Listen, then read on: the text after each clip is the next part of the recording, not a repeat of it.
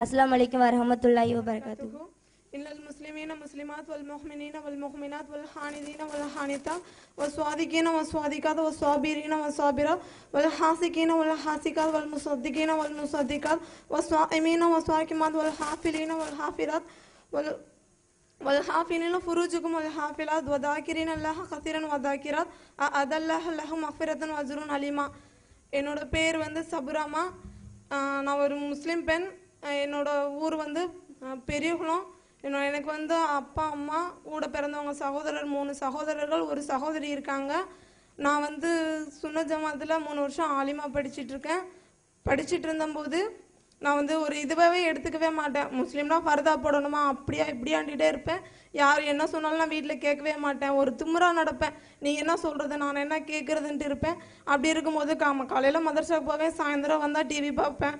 பாட்டு கேட்டுகிட்டே தான் உட்காந்துட்டு இருப்பேன். அப்படி இருக்கும்போது தான் வீட்டில எல்லாம் சொல்லுவாங்க அப்படின்னா டிவி பார்க்காதம்பாங்க.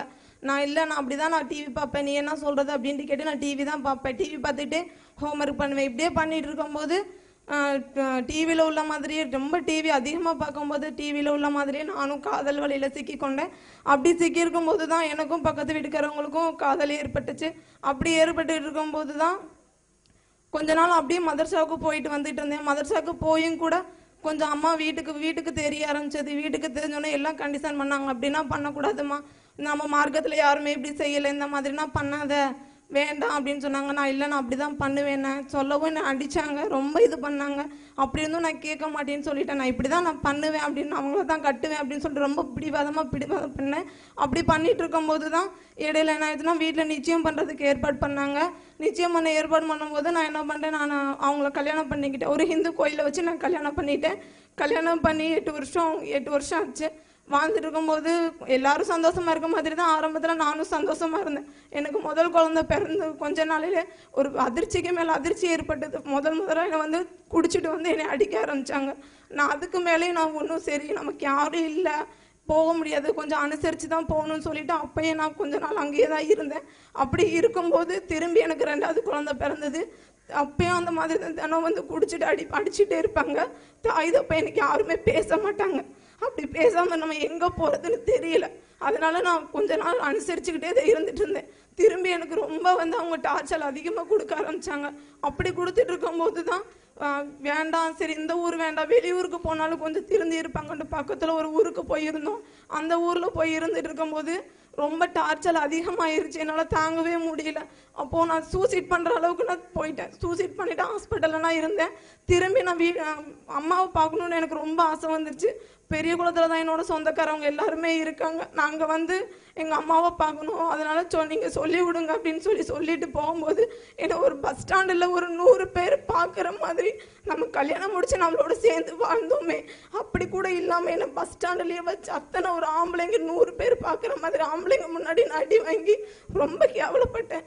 இதுக்கு மேலே நம்ம வாழணும் அப்படின்னு நினச்சி நான் ரொம்ப வேதனைப்பட்டு சரி உங்களோட நான் வாழ மாட்டேன்னு சொல்லிட்டு என்னோட ரெண்டு குழந்தைங்களை கூட்டிட்டு நான் பெரிய குளத்துக்கு வந்தேன் பெரிய குளத்துக்கு வந்தபோது தான் நான் எல்லாருக்கிட்டேயுமே சொன்னேன் இந்த மாதிரி நான் ரொம்ப இந்த மாதிரி வாழ்க்கையில் ரொம்ப நான் பாதிச்சுப்பட்டேன் எல்லாரும் என்ன மன்னிச்சிருங்கன்னு சொல்லவும் எங்க அம்மாவும் ஏத்துக்கல. அப்போ பெரிய குளத்துல ஜமாத்துல தான் என்னை வந்து ஏத்துக்க வச்சாங்க.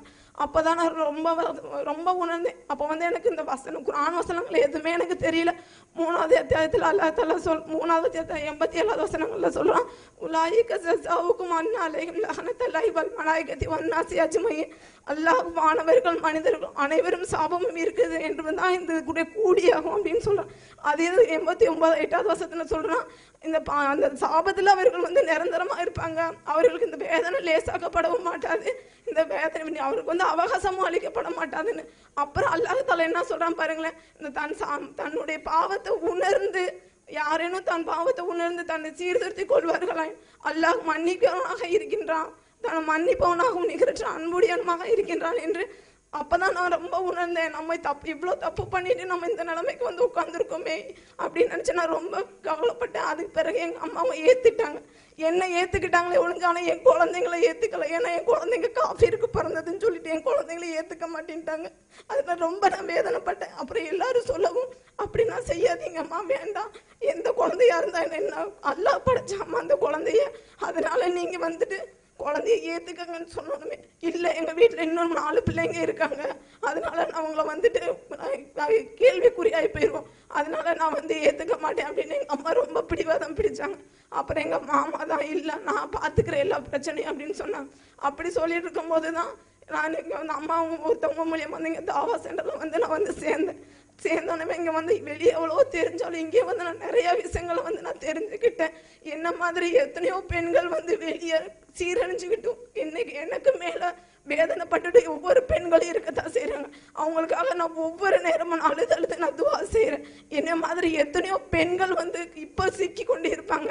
அந்த பெண்களுக்கு நான் ஒன்று சொல்ல விரும்புகிறேன். எல்லா பெண்களும் வந்துட்டு என்ன மாதிரி ஆகக்கூடாதுன்னு நான் துவா செய்கிறேன் ஏன்னா வந்துட்டு வீட்டில் டிவி பார்க்கறது வெளியே ஒரு அந்நிய ஆண் பேசினா கூட தயவு செய்து அவங்களோட பேசாதீங்க. சிரிச்சு பேசாதீங்க.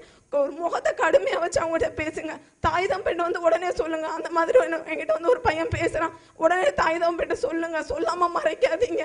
செல்போன் யூஸ் பண்ணாதீங்க. டிவி அவ்வளவா பார்க்காதீங்க. ஏன்னா டிவினாலே செல்போன்னாலே இன்னைக்கு எத்தனையோ பெண்கள் என்ன மாதிரி வாழ்க்கையை இழந்து நிறைய பெண்கள் தவிச்சிட்டு இருக்காங்க.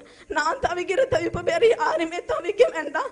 நான் ரெண்டு குழந்தைங்களை வச்சுட்டு இன்னைக்கு ஏமாந்து போய் நான் நிக்கிற மாதிரி யாரும் வந்து ஏமாந்து நிக்க வேண்டாம். அதனால எல்லா பெண்களுமே நான் ஒரு சொல் ரொம்ப என்னோட மனசார நான் சொல்றது என்னன்னா எந்த பெண்களும் என்ன மாதிரி ஏன்னா என்ன மாதிரி எத்தனையோ பெண்கள் லவ் பண்ணிட்டு இருப்பாங்க லவ் பண்ணி முடிச்சிருப்பாங்க. இந்துவா போய் கல்யாணம் முடிச்சிருப்பாங்க. அவங்களுக்கு எல்லாம் ஒண்ணு சில சொல்லிக்கிறேன்.